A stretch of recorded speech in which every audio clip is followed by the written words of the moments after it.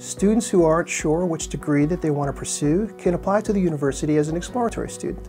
And through that process, I'll work with the student individually to have a conversation about their interests, what courses that they've liked in high school, and we'll work towards completing their general education requirements. As career counselors, um, you know, all of us are trained, we've gone through master's level um, counseling programs and, and been able to practice that art of not giving you advice, not telling you what to do when it comes to your career path, but rather walking through that process with you, um, being sort of a, an equal traveler and you know, one part of it is helping you get into what is it that you're really interested in, what, what makes up who you are. The fact that students connect to an academic advisor is setting themselves up for success.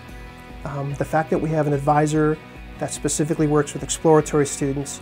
um, is again supportive because we have certain expectations of what those students need. The fact that career services and academic advising are located in the same office is a great opportunity for students here at Southeast because we can make referrals, and we do, oftentimes.